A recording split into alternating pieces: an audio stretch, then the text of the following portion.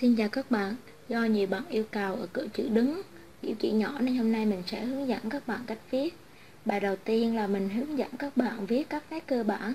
Trong các nét cơ bản thì có rất nhiều nét nhưng mà thường mình hướng dẫn bốn nét cơ bản ảnh hưởng nhiều đến bài viết đó là nét khuyết trên, nét khuyết dưới, nét móc hai đầu và nét cong kính. Đầu tiên mình sẽ hướng dẫn các bạn viết nét khuyết trên.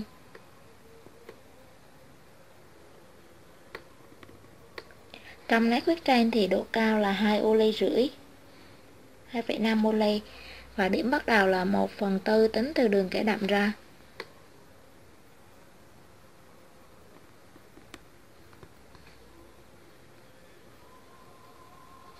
Cách đi nét khuyết trang các bạn lưu ý là khi luyện nét khuyết trang là chúng ta nên luyện nhiều lần. Có rất nhiều bạn hỏi mình là luyện bao nhiêu sẽ là vừa. Thông thường thì chúng ta luyện từ 4 đến 5 trang giấy sau đó chúng ta chuyển nét khi nét viết trang chúng ta viết đẹp và chúng ta sẽ viết đẹp cả bốn âm đó là âm L, âm B, âm H và âm K. Do đó ở nét viết trang chúng ta cần tập kỹ. Khi tập, khi các bạn chưa quen thì chúng ta có thể chấm điểm và chúng ta đi theo. Sau đó khi chúng ta quen rồi thì chúng ta không cần chấm và chúng ta đi bình thường. Tiếp theo mình sẽ hướng dẫn các bạn viết nét khuyết dưới. Trong nét khuyết dưới thì ngược với nét khuyết trên. Vì thế nên điểm dừng bút là 1 phần tư tính từ đường kẻ đậm và cao vẫn là 2,5 ô lê. Trong nét khuyết trên này chúng ta luyện tương tự. Nét khuyết dưới chúng ta luyện tương tự như nét khuyết trên.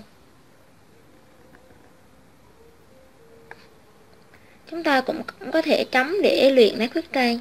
Khi nét khuyết trên và nét khuyết dưới chúng ta luyện đầy rồi thì chúng ta sẽ biết được tất cả các âm ở nét khuyết dưới thì chúng ta sẽ biết được âm G và âm Y.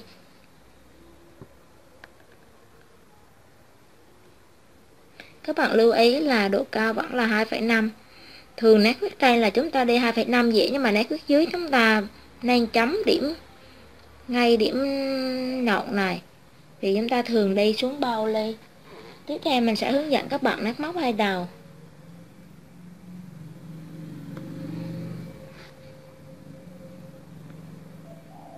Trong nét móc hai đầu là bắt đầu bằng 1 phần 2 và kết thúc vẫn là 1 phần 2 các bạn lưu ý ở nắp móc hai đào này thì chúng ta cũng đang luyện nhiều vì nó ảnh hưởng rất là nhiều âm âm N, âm M, âm H và một phần của âm R.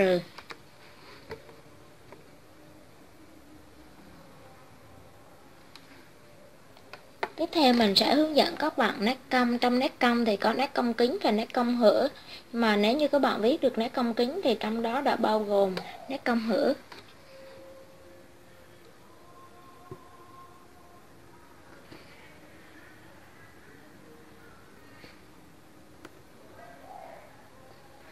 Trong nét cong này các bạn lưu ý là chúng ta viết không hết một ô mà là 0,75 là 3 phần tư của một ô.